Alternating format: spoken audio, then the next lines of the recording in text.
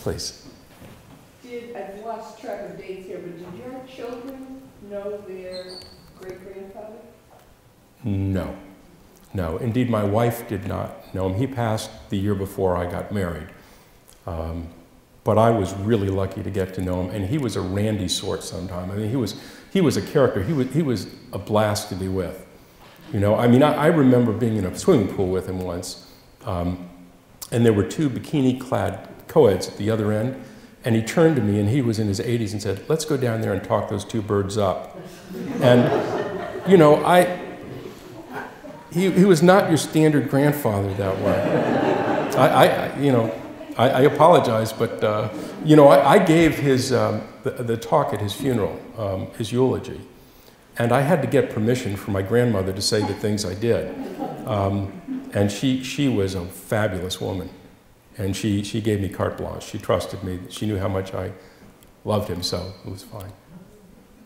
Please. It sounds to me as if his daughter, Ginny, inherited many of his characteristics, his personality, and his joie de vivre. I don't think she'll sue you. I think she'll actually be appreciative. Um, but I think you're absolutely right. And how about the other two girls? No. They're very, no, they're very different. They're, they, they, they take more after uh, his wife. Um, uh, so, please. Mr. Gup, uh, my father died several years ago at the age of almost 92. And he was a highly educated man and uh, somewhat a cynic uh, in the world. Uh, but he used to say, somewhat jokingly but somewhat serious, that what this country needs is a good depression. Um, in the vein that the, he could see this generation of, of individuals sort of not really appreciating what they have and, and what we all have been right. what we all have been given. And I wonder, is there is that part of the message in this? Book? It is absolutely part of the message, and I don't like messages as as as as uh, uh, your minister declared in reading from my Wobblies piece. I, I don't like being a crusader, a campaigner, or anything like that. But yes, embedded not in my words, but in their lives and in their words, is a clear message. You know, they create the world's largest no wine zone. You know, I mean, it is very. When I hear people whining about little things, and I think about these people's lives, uh, I want to say, you don't even have to buy the book, just read it, you know? Because it puts in perspective the human condition and, and the courage, the, the fortitude, the stature of these ordinary people, and I put that in quotes, ordinary people, is breathtaking in many instances. Just breathtaking. And it really is where the greatest generation came from. And you read, you know, I read 150 of these letters and researched them all, and, and I came away extraordinarily proud, both of my hometown, but also of the country and of that generation. Um, and I have two sons, 19 and 20, who are much more uh, reflective of this generation. And, and, and I think to some large degree, I've, I have failed to pass along some of those values and virtues. I think that sometimes our worst enemy is prosperity, uh, or at least continuous prosperity.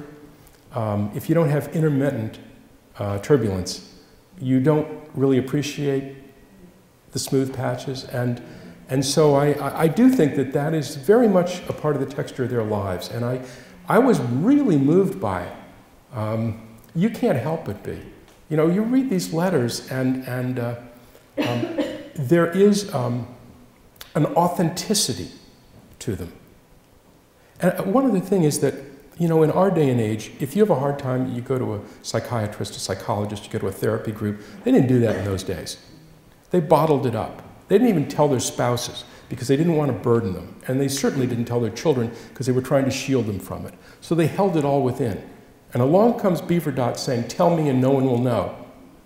And, and they poured their hearts and souls out. So, yes, you're absolutely right. And, and, and I hope, you know, I, there are a lot of reasons why I want people to buy this book. You know, I, I would like to retire and get, moved to the Riviera or whatever it is. But, but there, is, there is something in these lives and in this generation and in these letters that is of value. And if I, was, if I was smart enough to get out of the way of it, then it's worthwhile. you know, because there is real value in, in what they endured and the dignity with which they endured it. In this day and age, when we have TARPs and multi billion dollar bailouts, and we're throwing tons of money at, at a problem, sometimes it has less effect than the $5 that my grandfather mailed. Um, sometimes the small, the intimate, the community based is more potent than the large number. What this book tells me, these lives tell me, is that there is a role for government to play. That's what Franklin Delano Roosevelt and the people of America concluded. What they learned in the Great Depression was that you can't make it on your own sometimes. It isn't a failure of character. Sometimes the deck is so stacked against you that you need a hand and there's no shame in it. And that, that revelation came to people in the Great Depression.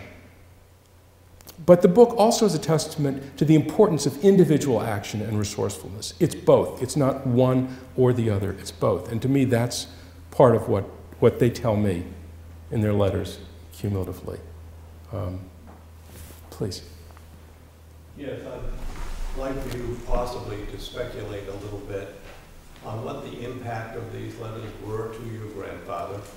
How did he integrate this into his own life? How did it impact him reading about this? And how did it affect his life where he kept this such a secret?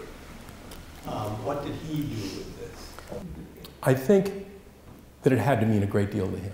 I think it had to make a, mean a great deal to him to be in a position to do this, given where he came from. You know, that had to mean, be something very special. And he knew all these people. You know, his store, many of these people that wrote to him came into his store in better days.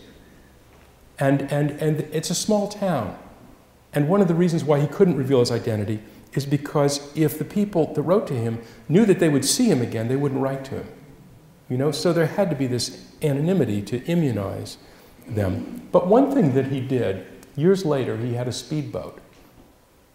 It was a beautiful Chris Craft wooden speedboat that, that, that um, uh, he raced um, uh, at Turkeyfoot Lake. And do you know what he named his speedboat? The B. Virdot. And it was a county away where no one would see it or connect it, but it meant something to him. Take a couple more questions and then I'll, I'll sit down here and, and say, please. Uh, Remarkable, thank you. Uh, Thank you. Your father, what, your grandfather was what kind, what did he do? Was he a merchant? How did he make his, He had a clothing store called Stone's Clothes, okay, and um, he was twice uh, bankrupt during the general period of the Depression, once after 29, and then he recouped his losses about 1932 or 33. And in 33, it was actually a good year for him, amazingly enough. And then in 38, 39, when the second wave of the Depression uh, was hitting, uh, he found himself in, in bankruptcy court. Uh, it was a complicated situation. It wasn't just that he was impecunious, there were, there were other complications, but um, um, that's what he did for a living. He had clothing stores, and then later he went into real estate. Um, and, and, uh, but when he, when he died on his way to work, you know, in his mid 90s, he was on his way to a shop that he ran and owned. It was a, a shop that sold pen sets to be executives. You know, that's what he did. Uh, it was a little thing, and he would scurry up and down the ladder at that age. I mean, you know, uh, um, so that, that's what he did. that's wonderful. And I was just, you're relating this story reminds me of my great-grandfather and the stories I've heard through my father, who's now deceased also. But uh, my great-grandfather lost a lot of land, this is in North Carolina, because he owed a few hundred dollars that he supposedly had already paid but failed to get a receipt for. Yeah, Okay, so word of mouth was everything in those days. right. So he came to my dad, and which was his grandson. He said, "Ruth," he called him Ruth. Could you just, if you could just buy this land, you know, it would be really great. And my dad didn't have three hundred dollars, and so my dad's telling me this story, and I'm saying to my dad, "You didn't have three hundred dollars." He said, "But I didn't jump off the building and kill myself either."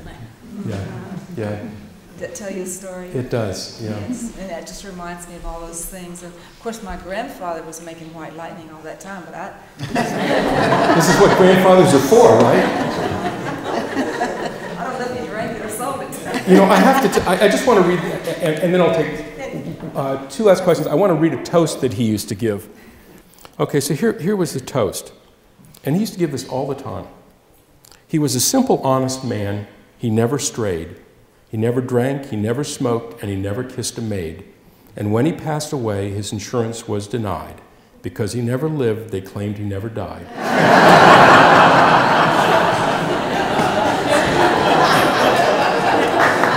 you gotta love it, right? It'll take one, one all the way in the back, and then I'll get. Were you able to figure out whether the 150 checks that he wrote represented all of the people who had? No, and that's a, no. He only kept 150 letters, and and the reason I'm sure is that he couldn't bear to have more letters that he didn't help. You know, I mean, the burden of having those letters stay with him, I think, would have been too much, and so he only held on to those letters of the people that he, that he helped. So, good question. And last question. Well, I remember you from, three years ago because I was so impressed with your incredible search for the truth. And now this is in a whole other format, but I don't think it's um, just by coincidence that that final survi- survivor surfaced at the very last moment, perhaps almost after the fact. I think that the universe is coming to meet you to say thank you for listening to the voices of people that Uh, forgotten. That's very kind. I, I, I have a, a saying that I pass on to my students in journalism, um, and that is that God rewards you for making the call after the last call. um, I, Jefferson talked about how he believed in luck, and the harder he worked, the more he had of it. And I, I do believe that. You know, I, I believe in sweat equity. Um, uh, but beyond that, there was a cosmic element to this book. I mean, you know, I'm not a, a squishy, feely kind of guy, um, but, you know, what are the odds that after 75 years, this suitcase shows up, is handed to a writer in the midst of the worst recession since the Great Depression? What are the odds? You know, I mean, it was kind of meant to be.